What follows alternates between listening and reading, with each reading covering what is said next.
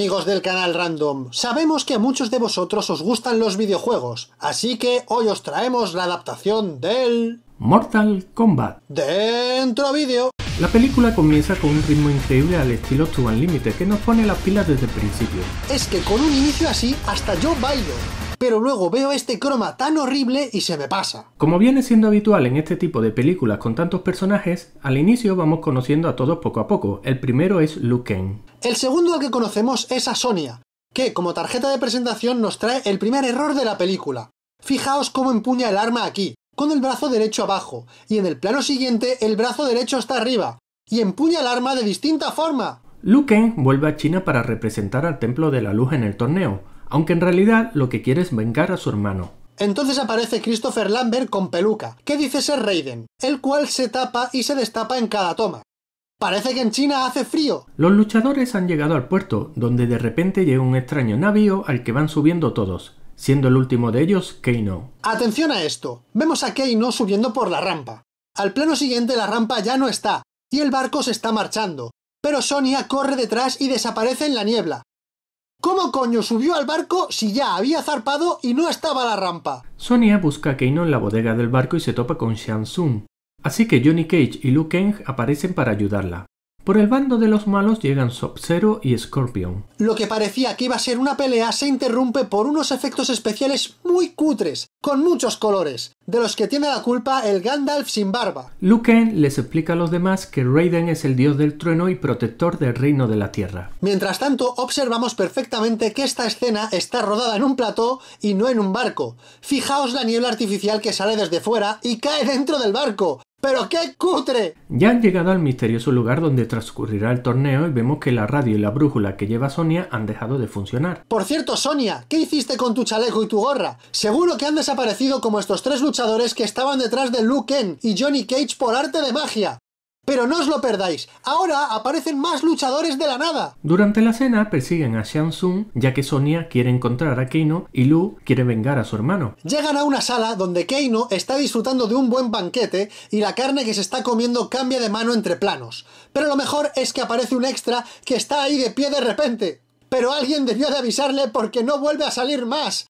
¡Realismo! A los 35 minutos de película, por fin, un poco de acción, que ya empezábamos a echarlo de menos. Pero vemos cosas muy raras. Por ejemplo, vemos a Johnny Cage que se agacha y los malos, en vez de pegarle, saltan por encima esquivándolo. Pero esto de ahora es lo mejor.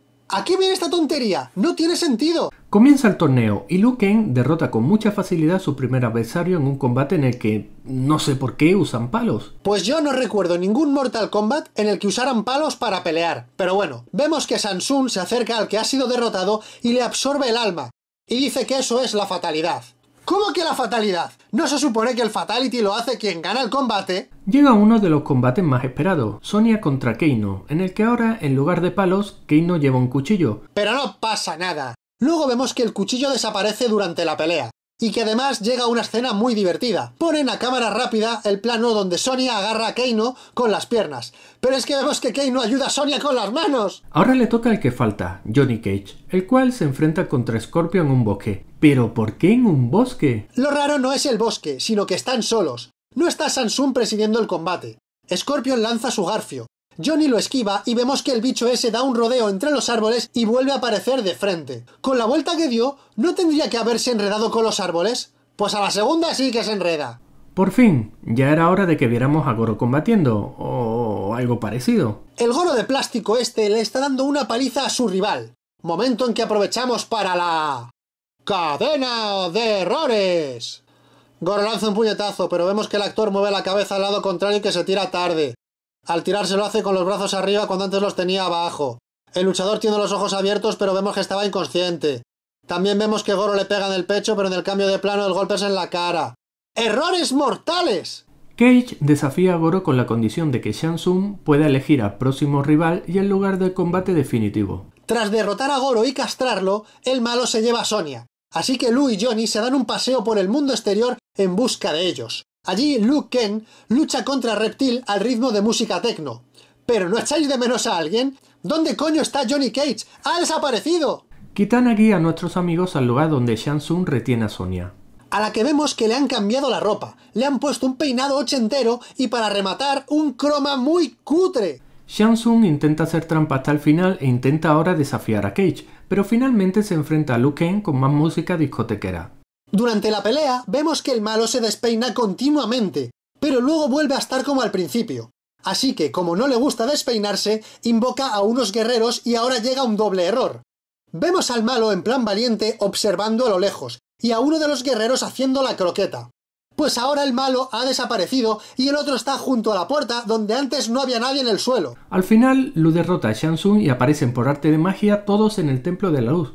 También vemos a un montón de niños que parece que han salido del colegio y que llevan banderines. Pues, pues porque sí. Ah, y a pesar de que han ganado el torneo, el emperador viene a por sus almas. ¿Por qué? Pues porque hay que sacar la segunda parte, que no os enteráis. Fin.